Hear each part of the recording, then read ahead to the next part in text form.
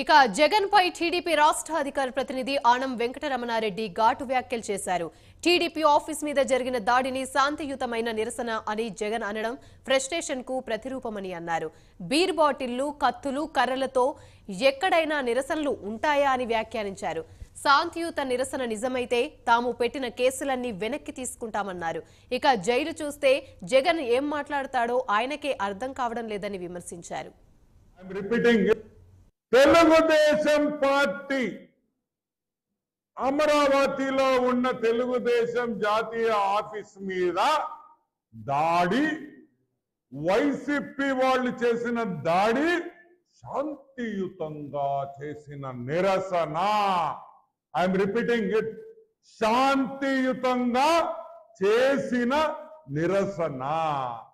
ఫ్రస్ట్రేషన్లో కోపంతో blood pressure పెరిగి కోపంతో చేసిన శాంతియుతంగా చేసిన నిరసన. ఈ నిరసన కార్యక్రమంలో కర్రలు కత్తులు బీర్ బాటిల్స్ ఇన్ని కూడా వాడిన. ఆ మన హాఫ్ టికెట్కి మన హాఫ్ టికెట్ మాజీ ముఖ్యమంత్రికి అది శాంతియుత నిరసనగా ఆయన వర్ణించాడు. ఓకే. తెలుగుదేశం పార్టీ ఆఫీస్ మీద జరిగిన దాడి ఒక నిరసన కార్యక్రమమే. నేను ఒప్పుకుంటున్నా. ఆన్ రికార్డ్ చెప్తున్నా. On record.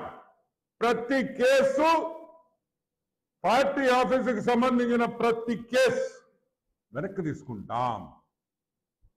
పొరపాటైందని క్షమాపణ కోరుతాం. కానీ ఒక షరతు. ఆ షరత్ ఏంటంటే ఏ విధంగా మీరు నిరసన శాంతియుత నిరసన తెలిపారో తెలుగుదేశం కార్యకర్తలకి కూడా అదే అవకాశం ఇవ్వాలి.